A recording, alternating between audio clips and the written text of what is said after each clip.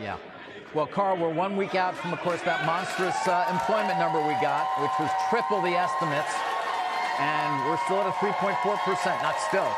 Since 1969, the lowest unemployment rate we've had at 3.4%. Let's get the opening bells, guys, and the CNBC Real-Time Exchange.